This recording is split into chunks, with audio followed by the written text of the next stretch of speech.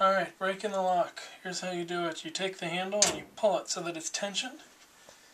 Remove the electronic keypad.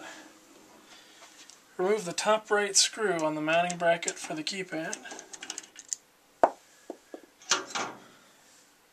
Then take our coat hanger, insert it in the hole.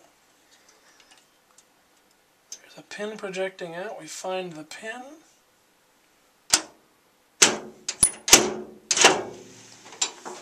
And voila! We're in the safe.